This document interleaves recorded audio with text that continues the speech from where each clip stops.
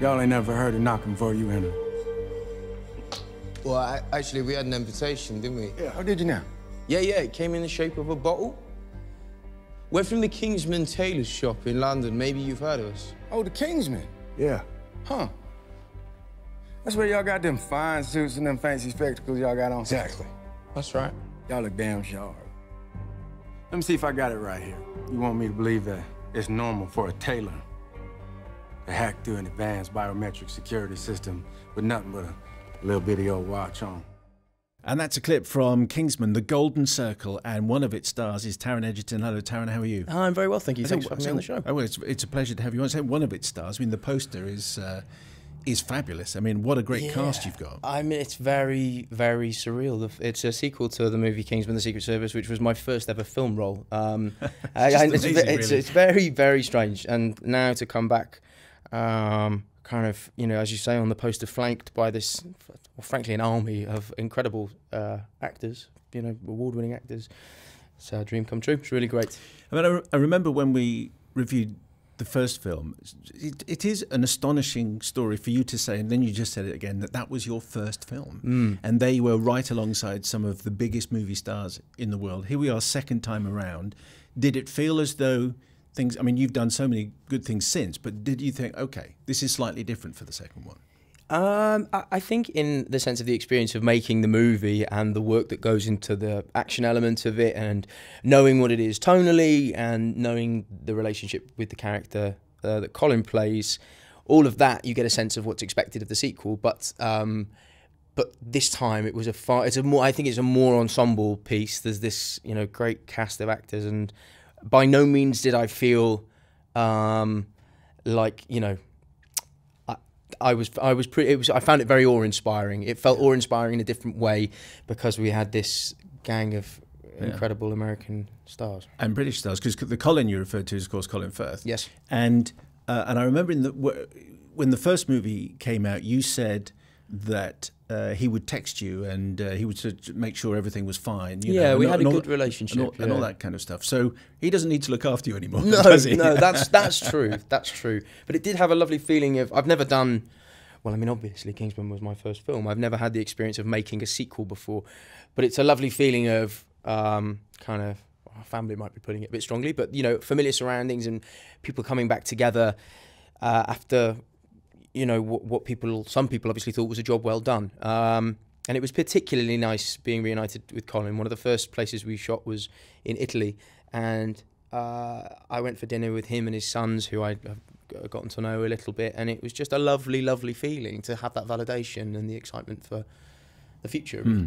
Just remind us who the Kingsmen are for, Yes. for, for folk who, who missed the first one. So they're a secret organisation, and of they're tailors basically. They operate. Their front is a tailor's shop. They operate as a tailors on Savile Row, but behind closed doors, they are highly trained, um, tech savvy, elite crime fighters who have taken it upon themselves to tackle kind of global problems and global injustices, and they do so in a kind of quite sort of cavalier, extreme manner without ever getting a hair out of place. And in this movie, a, se- a, a sequence of events which involves Kingsman being blown up leads us to discover that we have a sister organization who are a heightened version of sort of American culture and Americana, cowboys, denim clad, Stetson wearing superheroes in the same way that we're these this riff on English gentlemen. Neither are particularly realistic, but it's a lot of fun, uh, and it's an it's a kind of an idea that I think people the world over can buy into because it it, it's stereotypes and it's quite fun to play with. But people who have seen the first film might be surprised that Colin Firth is in it at all. Yes, because he was quite clearly killed. He was, and he's back. I think it was very clear very early on that one of the things that people really, really loved about the first movie was one seeing Colin Firth in this incredibly unlikely role of the superhero, crime fighting, badass ninja guy. Um, and also, I believe as well, I think that what people bought into, as well as all the hype and action and craziness, was I think that relationship between Harry and Eggsy. I think that's kind of the heart of the film. The most emotionally affecting moments of the first one in- involved those two characters. And so I think that Matthew recognised and felt strongly that in order to continue the success, that Colin was presumably essential to the future of, of the story and the franchise. So he has to live. He has to live. He has to live. And so, within the parameters of the film, Matthew felt that he could conceivably bring him back. And I personally feel I'll leave that to other people and Mark to evaluate whether they feel that that's far fetched or not. I believe it really works, and I believe it's to the sort of the betterment of the film. And the Matthew you're referring to is, of course, Matthew Vaughn, Yes. who's uh, who's directed this movie as well. Yes. It, how does he direct you? What's it like being on set with him? How does he direct the scenes? I found it's changed a lot over the two movies, particularly early on when it came to me. I think he felt more like he had to manage me a little bit. And since then, I, we, we also did a movie called Eddie the Eagle together, which he produced and Dexter Fletcher directed. So we've kind of worked together constantly in some capacity over the past four years, and our relationships really developed and changed. In terms of him on set, he's very enthusiastic and very excited, but also sort of not in the room a lot of the time in the sense that he's in his, his head. You can see he there's a face Matthew has where he sort of goes to his faraway place and dreams up these crazy ideas that you know only people like Matthew Vaughn or Quentin Tarantino or dream up these these things that wouldn't occur to normal people. It's hard work. It's a very long shoot, and the level of detail and camera work that goes into it is massive. Uh, Matthew, I guess you might say overshoots to give himself lots of options in the edit, and I think it's in the edit when he has this real palette of things that he's built. That's where he's able to splice and create what he wants to create. I'm guessing. I, I, I don't presume to be able to demystify Matthew, but uh, And it's a very physical movie. I imagine it's pretty exhausting. Ma- massively so, yeah. But thrilling as well and very exciting, you know, to it's like a little boy's dream really running around in these suits pretending to be something akin to superheroes. I think in the first film you said that the most exhausting sequence was the underwater sequence. Yes. Uh, which took, although it was just like five minutes of the film, it was like ten days. 10 days of filming. shooting, yeah. What in this movie? It starts with a, a fairly exhausting sequence with you in a taxi. That's right. Would that have been the? I mean, I think that would be pretty exhausting. That was up that was up there. I actually have another underwater sequence in this film, and this time it's an extension of the sequence you just referred to. I'm underwater again, but this time I'm sat in a taxi and seatbelted in. And it's quite a strange and quite scary experience. You sort of sit on a stage above water level and you sit in the taxi with the seatbelt on and they give you a regulator and then they submerge you into the water and on an underwater speaker they give you a moment to prepare and then they start shooting and you're essentially strapped in. You know, if you started drowning, I mean, there's a there's a team of people there to save you, but it's still quite scary That's nonetheless. reassuring. But it sounds that you're pushed to your limits. Yes, I would say that's fair enough. And Matthew was very very keen on um, trying to get us to do anything that's physically possible or doesn't kind of go against insurance. So a lot of what you see, I would say most of what you see is, is actually me and, and, and Colin, which is great. And it's something that people find very thrilling about the film, I think. And you referred to the first film uh, as a big art house movie.